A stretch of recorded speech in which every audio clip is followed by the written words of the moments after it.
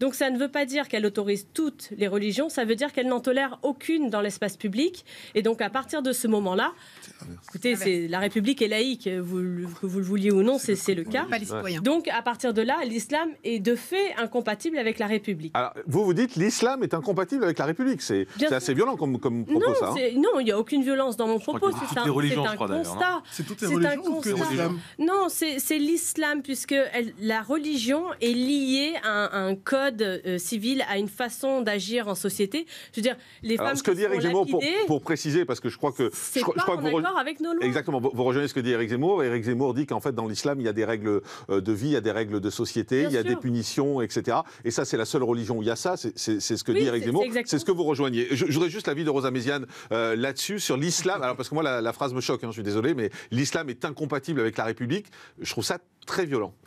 Ça l'est, ça l'est, et, euh, euh, et, heureusement que euh, beaucoup partagent votre opinion. alors, je ne sais pas si je peux commencer mon, propos non, sur ce point directement précis, sur, ce point précis. Non, mais en fait, M. Zemmour souhaite, il l'a rappelé dans, dans, ce 20 heures catastrophique, il souhaite quand même que les 6 millions de Français de confession musulmane restent des Français.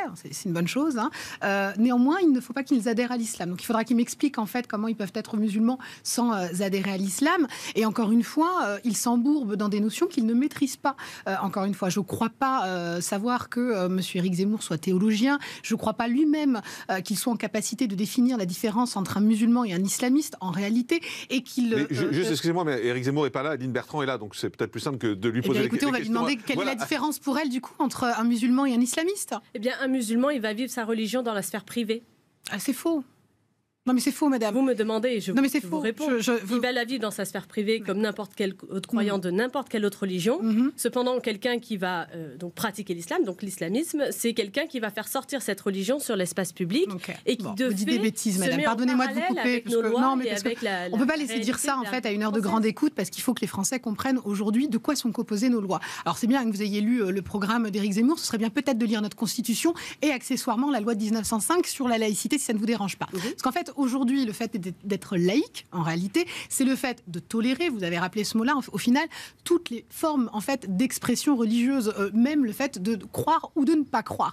Et euh, la garantie de l'État, c'est euh, le fait de garantir la liberté de conscience, donc le fait de croire ou de ne pas croire, mais également la liberté de culte. Et cette liberté de culte, elle peut s'exprimer tant dans la sphère privée que dans la sphère publique. Donc aujourd'hui, le fait d'expliquer que euh, l'islam est incompatible en fait avec euh, euh, la citoyenneté française, du simple fait que ça avec la République, elle a parlé de la République, elle n'a pas parlé de la citoyenneté. Avec la République, pardonnez-moi, avec, avec la République, sous-entendant que les musulmans qui exprimeraient leur, leur religion dans l'espace public ne seraient pas des bons citoyens. Je suis désolée, votre. Ce n'est pas ce que j'ai dit. Mais alors expliquez-moi en fait pourquoi elle doit rester dans la sphère privée. Alors Aline Bertrand répond. Aline Bertrand alors, répond simplement, euh, on, a, on, a un, on a un code, on a une constitution qui nous dit que... Qui nous permet de l'exprimer dans l'espace public. Hein qui nous, qui nous permet aujourd'hui. Oui, mais pas les signes ostentatoires sont interdits, par exemple. Alors lesquels Lesquels? Ben, Le voile, par exemple. Mais c'est faux. Vous dites une bêtise, Madame. Est-ce que vous arrivez à faire la différence entre ce qui est ostensible, ostensible et ostentatoire?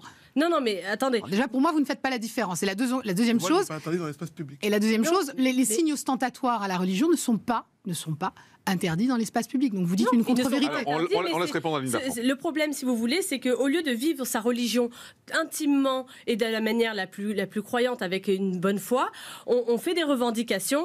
Euh, Expliquez-moi pourquoi les cafés, il y a des cafés qui sont interdits aux femmes. Est-ce que vous trouvez que ça... Lesquels vous avez, vous avez une liste Vous avez eu des reportages quand même à Celui de Sevran, il a été démonté. L'histoire a été démontée. Oui, mais attendez, c'est pas, parce que, parce que vous ne les voyez pas qu'ils n'existent ah, pas. Alors vous, visiblement, vous les voyez. Donnez-moi donnez un café, le nom d'un à Marseille, lequel Oui, mais lequel Mais mon Dieu. Je suis désolée, madame. J'ai vécu dans le Var, j'ai vécu à Tours pendant 5 ans. Je connais parfaitement, je connais parfaitement la région PACA. Attends, on laisse répondre.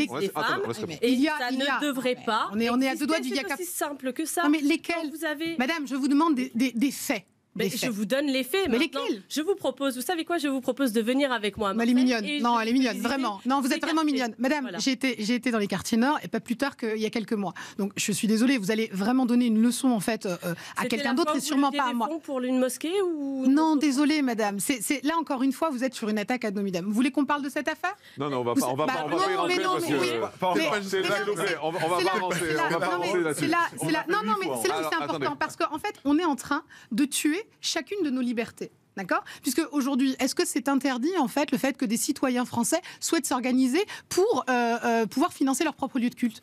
C'est interdit par la loi? Non, mais ce qui, ce qui, moi, ce qui me dérange, c'est important par contre hein, de, ce qui me dérange, de, le spécifier. quand des fonds étrangers organisent justement l'installation.